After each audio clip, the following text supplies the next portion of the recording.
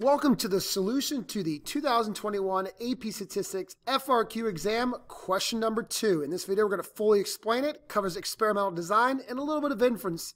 This is one of those problems where there's no math. It's all writing and all understanding. So for those of you AP stats lovers, you know that there's a lot of questions that do involve a ton of writing. So let's just dive right into this problem. All right, researchers will conduct a year-long investigation of walking and cholesterol levels in adults. They will select a random sample of 100 adults from the target population to participate as subjects in the study. All right, before we actually dive into the first question, let's talk about this real quick. So they're obviously looking and seeing if there's a relationship between walking and cholesterol levels. So we could think right away we have in our explanatory variable is walking. Our response variable is the cholesterol levels. Now, we do have a random sample of adults. Now, because it's random, that's awesome, right? That means that we could actually apply what we learn from this study to all adults from the target population. As long as you select from your population randomly, you could infer to that target population. Now, the only thing I'm missing, and this obviously just two short sentences, this does not seem to be an experiment. It might have come across as an experiment, but it's really not fully an experiment. This is really just an observational study. They selected people and they're just going to observe their walking habits and their cholesterol levels. We're about to read a little bit more into that right now. So, part one says one aspect of the study is to record the number of miles each subject walks per day. The researchers are deciding whether to have subjects wear an activity tracker to record the data or have subjects keep a daily journal of the miles they walk each day. Describe what bias could be introduced by keeping the daily journal instead of wearing the activity tracker. So once again, why this is more an observational study is, well, first and foremost, they didn't have the 100 subjects, 50 do this, 50 do that. There was no comparison. All, all 100 people are participating in the study. There's nothing going on of like, hey, you guys are getting this treatment, you guys are getting this treatment.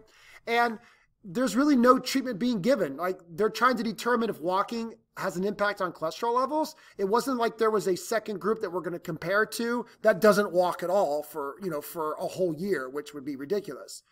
So for that reason, this is definitely an observational study. Now they are asking the people to track their number of miles they walk. And you could say, well, they're making them do that. That makes this an experiment because you're not just observing them, you're making them do that. Well, I agree, but these people did um, they were selected randomly, and I'm assuming they had to sign some type of waiver that agreed that allowed them to agree to participate in it.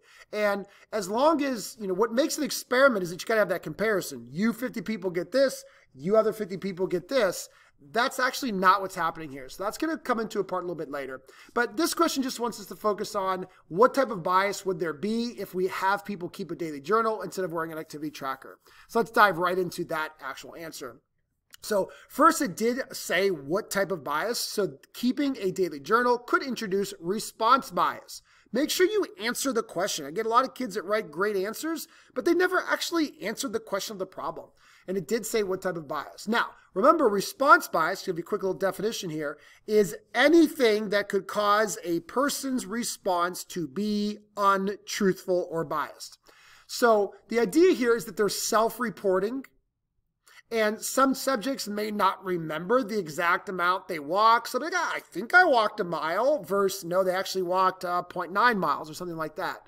Um, or maybe they just lie about the walk, you know, the amount that they walk to either look good or, or maybe just because they forgot. Like, oh, I forgot to walk today. I, I'm just going to say I walked two miles. So if many subjects have this bias, then they could either underreport or overreport the number of miles walked per day. Now all of a sudden our data is becoming biased because it's not truthful. This would result in the estimate of the mean miles walked to be either too high or too low. If a lot of people overestimate by maybe bragging about how many miles they walk, then we're going to get values that are too high. Or if a lot of people don't quite know and they're actually giving numbers that are really low, then that could create an underestimate. Now, wearing a fitness tracker would likely provide a more accurate record of the daily miles walked, by each subject to give a more accurate mean. You could still find things that are wrong with the fitness tracker. Well, maybe Sally put the fitness tracker in her car and then it recorded the car going 25 miles and she actually didn't walk it. Okay, I get that. But they're just trying to say that, listen, recording it on your own could cause a lot of bias. Whereas if we make you wear a fitness tracker, now all of a sudden, you know, it's one step closer to getting more accurate results. So the key answer to this problem is it's response bias because when people are asked to keep a journal, they could not give the truth, whether they do it purposely or unpurposefully. All right, during the course of the study, the subjects will have their cholesterol levels measured each month by a doctor.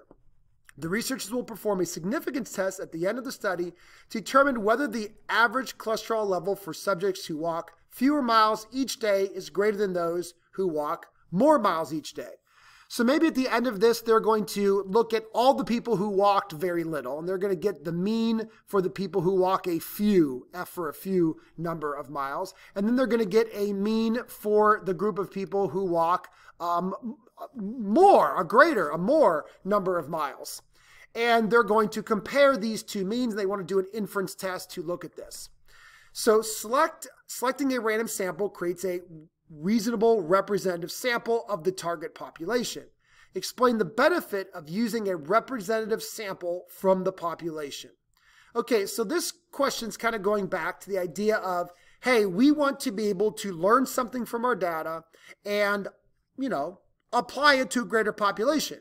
Why is it important to have a representative sample instead of a, I guess, non-representative sample? So first, let's make sure you know what the definition of a representative sample is. It means that your sample looks like your population. If your population has a bunch of young and old people, so does your sample. If your sample has a, if your population has a bunch of different ethnicities, so does your sample. If your population has a bunch of different genders, so does your sample. If your population has people that walk a lot and people that walk a little bit and people that walk a medium amount, then so does your sample. That's what we mean by representative. So why is a representative sample necessary?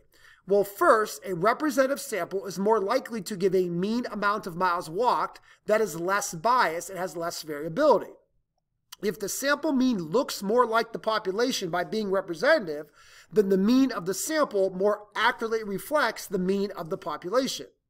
So somebody, you know, the idea here is if your population is very representative, the mean of the population will represent that population.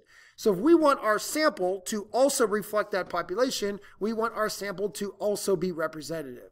A representative sample will also make for unbiased inference about the difference between the mean cholesterol levels for all adult members of the target population who walk fewer miles and the mean cholesterol levels for all adult population or all adult members of the target population who walk more miles per day.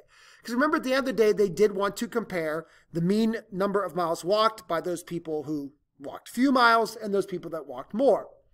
Now, this is not an experiment, one more time, because they didn't make some people walk less miles. They didn't make some people walk more. They just observed 100 people and what they walk, and then they split them up. Okay, here's the top 50 my, um, walkers. Here's my bottom 50 walkers. Maybe it was as simple as that. But why do we want all of those 100 people to be representative is because then it's going to better represent our population. And then that means we have better data that we could use to make inferences towards the population about. So I always tell my students, having a sample that is truly random and representative is actually going to produce less variability because it will create a value that's closer to the truth.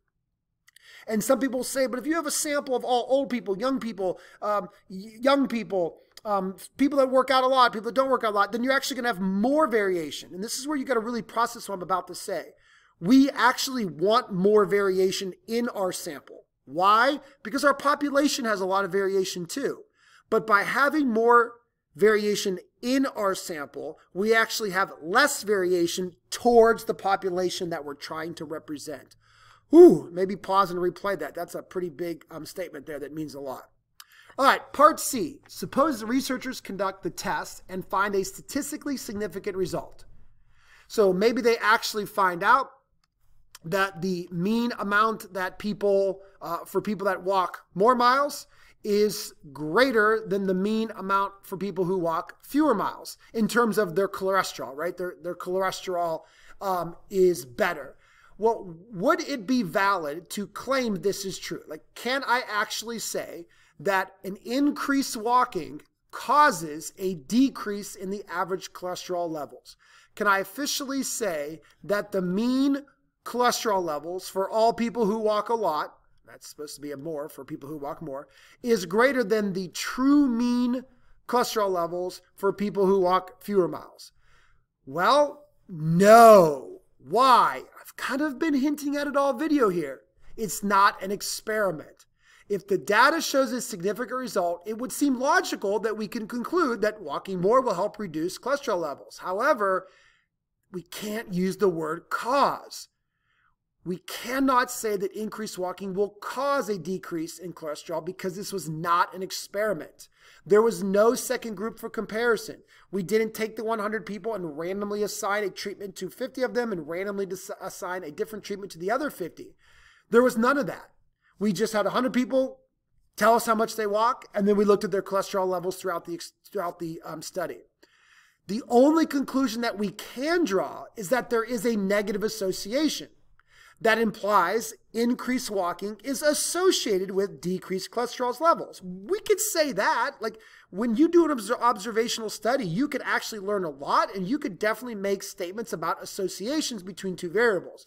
But you cannot use the word cause until you have officially conducted a well designed experiment. There are just too many confounding variables without more control in comparison. For example, people who walk more may be more concerned with eating a healthier diet, and eating better foods will lead to lower cholesterol.